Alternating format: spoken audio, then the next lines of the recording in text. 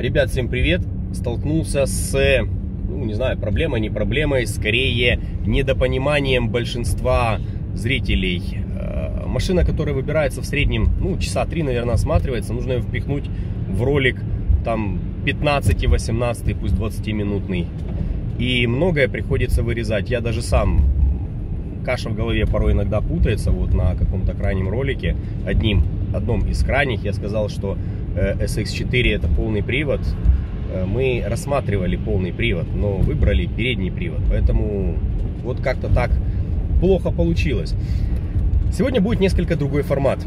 Сегодня я э, покажу выбор автомобиля. Ну, наверное, растянем это на три ролика. И придется очень много порезать, почикать, помонтажировать для того, чтобы не было затяжных соплей. Э, очень таких пикантных моментов, когда осматриваем некую там трещинку или же некий потек масла с разных ракурсов, когда и так понятно, что оно там течет. Обычное выяснение того, насколько оно течет, приводит к таким длительным видео. У меня на канале есть видео, которое там по два с половиной часа. Там полилась куча критики в том, что вот, что ты так растягиваешь, что ты так размазываешь, все плохо, вай-вай-вай, все, все очень ужасно. Начал делать короткие, стали люди больше смотреть, но начали рассказывать о том, что я очень плохо отношусь к выбору автомобилей. Так вот теперь попробуем формат, где я максимально попробую осветить, но не за один ролик, а там за, например, 3-4, наверное, не так. Наверное, поделим их по осмотру каждого автомобиля. И хочу заметить, что далеко не каждый автомобиль заезжает на детальный осмотр, на подъемник. Мы на некоторых машинах даже не начинаем читать электрические блоки. То есть, если видим, что этому автомобилю полное несоответствие технических каких-то параметров и стандартов, тогда да, тогда мы э, останавливаем выбор автомобиля, потому как ну, бессмысленно дальше выбирать, если изначально мы понимаем, что там большая неправда со стороны продавцов и несоответствие того, что говорят люди и то, как оно на этом на самом деле есть.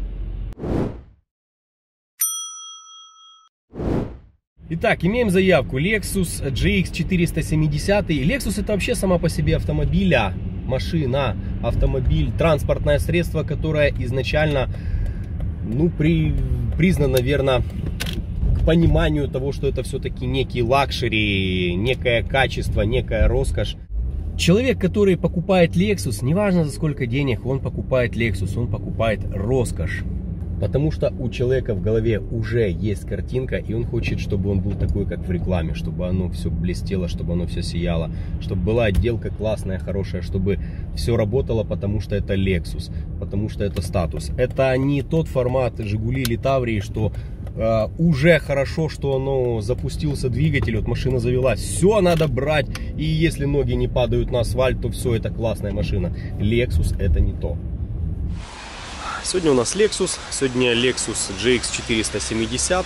Нужно определить, действительно ли машина 2007 года может иметь пробег 170 тысяч. Ну и, в общем-то, вот этот красавец. И, ну, что могу сказать от себя? Вот первый косяк, который я вижу, вот эта затертость э, стекла, которая есть, она совершенно не присуща машине, которой, которой 170 тысяч. Вот, например, Сейчас я на своем покажу.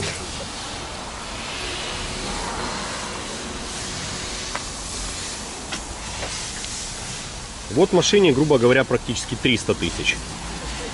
И затертостей от щеток у нее нету. Хотя обращаю внимание на то, что щетка здесь уже практически рассыпалась. Ладно, идем дальше. Так, по петлям.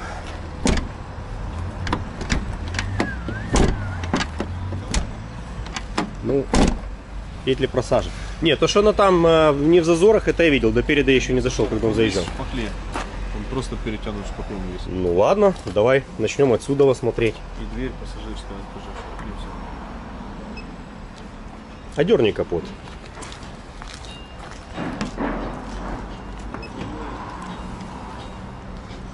Ну, лобовое это такое. Лобовое я лично отношу к размеру расходников.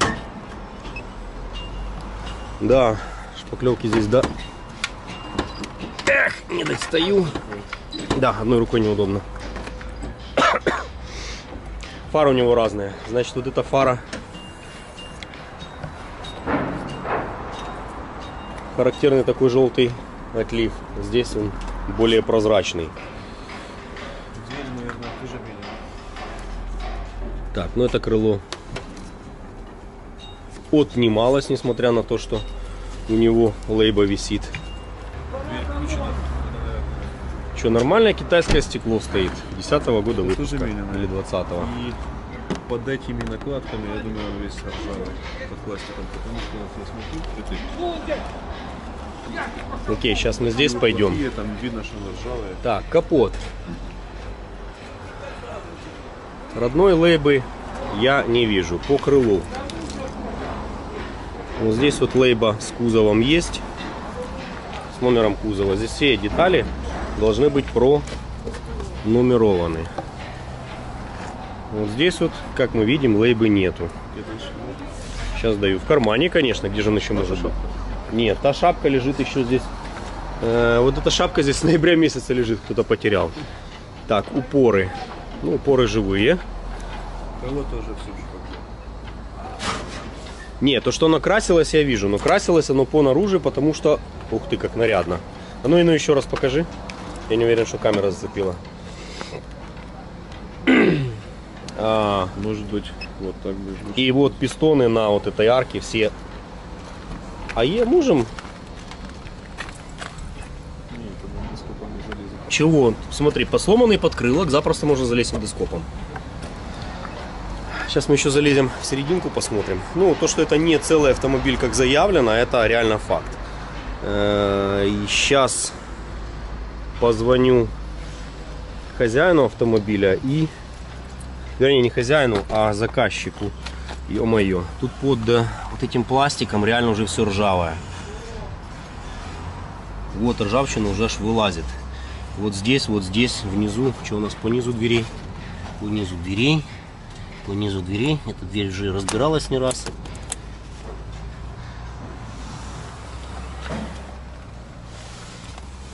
Ну что, отличные крашеные сиденья. Да, крашеные по приборке. Сильно она уж потресканная какая-то. Не, ну о 170 тысячах здесь речи не, в принципе, абсолютно не идет. Затертая э, дверь, ручка водительская, которая дверь хапает. Педальки, сейчас опущу камеру. Ну, педаль стертая. Аж, ну, конечно, не до металла, но хорошо стертая. Обратите внимание. Я уже видел. Сзади точно так же. Не снимались, там двухсторонний источник поклеено, и там вообще попали пластиком. Ну да, тут тоже как бы ржавчина, ржавчина она подкрашенная. Вот здесь вот все элементы, которые от коррозийны, они тоже поддавались обработке и тоже красились. Так, хорошо, тут по проему нету где лейба двери. Сколько денег он стоит? Лейба двери понятия не имею. Посмотри в объяве, я же скидывал в общий вайбер.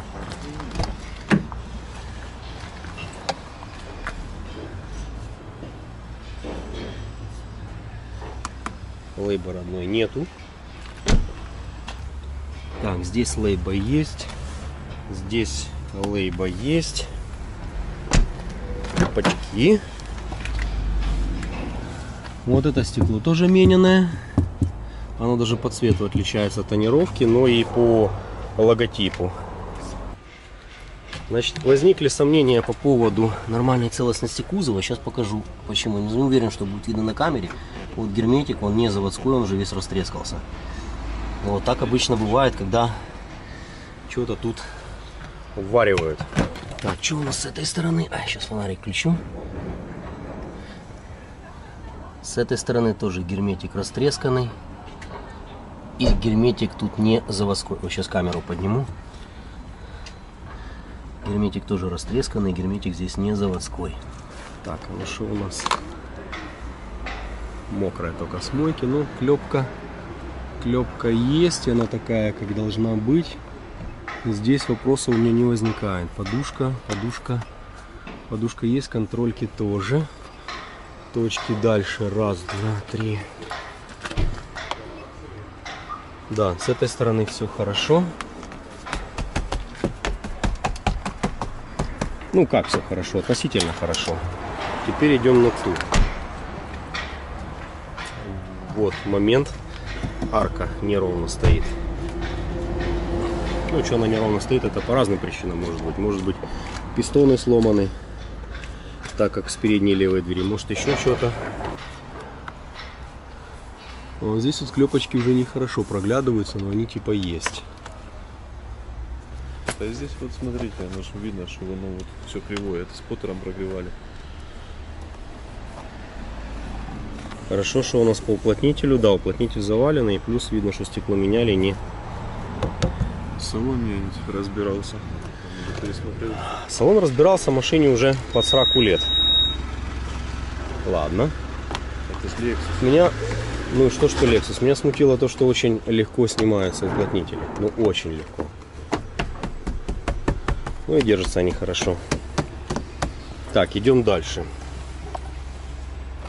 Предварительно по лейбам. Хорошо. Здесь есть. А вот здесь, по-моему, нету. Да, здесь нету. Что у нас с дверями тут?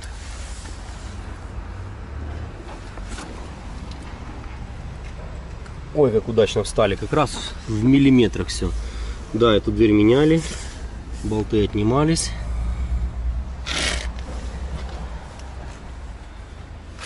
А что у нас тут? -то?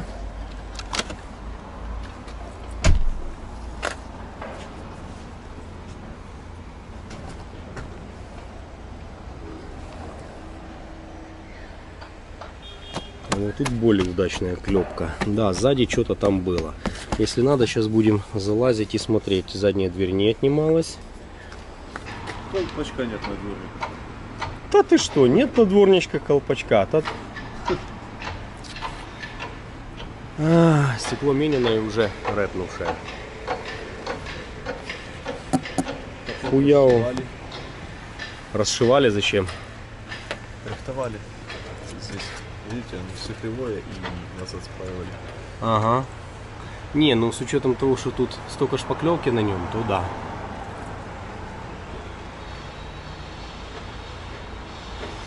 Ладно, звоню. Многие спросят, почему не взять Lexus в Америке? Да, Lexus в Америке взять можно. Можно в Америке, можно в Канаде, можно его взять где угодно. Но для того, чтобы взять его недорого, в любом случае получится, он будет либо травмированный, либо же он будет притопленный, либо же... Я скажу так, в страховой сидят далеко не идиоты. И остаточная стоимость автомобиля, так или иначе, они все это прекрасно понимают. Так вот, задешево взять автомобиль, который слегка с поцарапанным бампером, не бывает сладостей таких.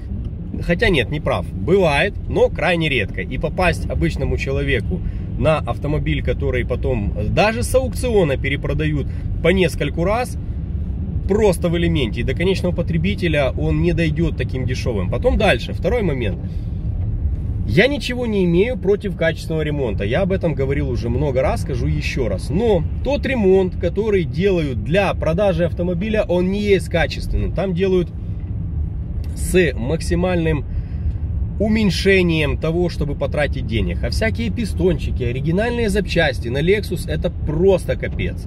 Поэтому вот рассказать мне о том, что машину с Америки можно сделать задешево, и даже если она битая, даже если у нее там не поврежден некий кузов, это не всегда есть правда. Поэтому покупая машину с Америки, уже готовую под продажу, не ждите того, что она сделана качественно.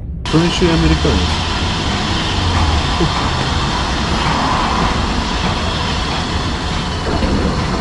Нет, то что, то, что он не крашеный, это лапша на уши народу. То, что у него точно не 170 тысяч, это, это запросто.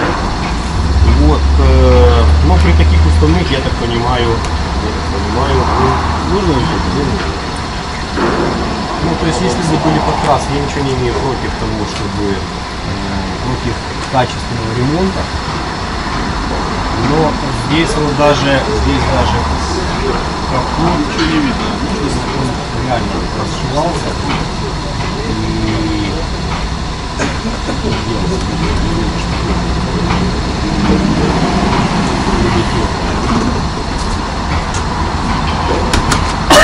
Нет, капот здесь не меняли.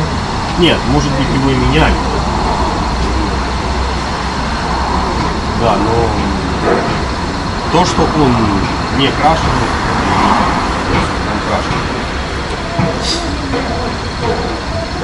Все хорошо, тогда понял, принял. На подъемник мы его даже не загоняли. Спасибо. Это все. Большое спасибо за уделенное время, но дальше Машина заявлена как э, э, без подкрасок, как идеальное состояние. Ну да, то есть здесь он, если посмотреть, вот, вот здесь моменты, очень хорошо видно на игре света, я попробую споймать, о том, что он такой слегка горбатый. А с того тоже видно нормально. В общем-то, да ладно трэш, это еще не трэш. Трэш это немножко, немного не туда. Э, не выбираю Lexus в Европе, потому что хороший Lexus в Европе стоит дорого. Учитывая их слонячие объемы, растаможка будет просто конская. Да и вообще, Lexus в Европе очень мало по сравнению с нами. Э, у нас здесь как-то более как я уже сказал, дорого-богато, а в Европе все-таки более практично. В сравнении с Европой люксовых автомобилей э, в Украине намного больше, нежели в самой Европе. Я не видел, э, вот только переезжаешь границу, такого количества S-классов, рейндж-роверов заряженных, да и даже не заряженных. В принципе, их в таком количестве нету. Нет э, такого большого количества Infiniti, нету Lexus, нету там сегмента в таком массовом, а, акцентирую внимание именно на массовости. В массовости там нету ни кубиков, ни ничего такого. Хотя мы страна бедная. В общем, очередной автомобиль, тот, который не битый, тот, который не крашеный. Ну, ребят, вот он факт на лицо. Машина заявлена 22 тысячи э, с половиной а, долларов. Заявлена как не бита, заявлена как не крашеная. А, а, даже 24 600 она заявлена, вот Андрей ко мне. А, мы бы могли ее смотреть и дальше, если бы не вот такой вот момент. Этот автомобиль был а, восстановлен после того, как он, вернее, документы на этот автомобиль были восстановлены после того, как было втрачено свидетельство про регистрацию на секундочку в сентябре прошлого года. И он отказался показывать техпаспорт. В смысле отказался? Ну, я говорю, покажите паспорт, я посмотрю. Отказался показать техпаспорт э, водитель этого автомобиля, это не хозяин, но по факту отказался почему-то показать техпаспорт на автомобиль. Ну, в общем, пока так, продолжаем поиски дальше.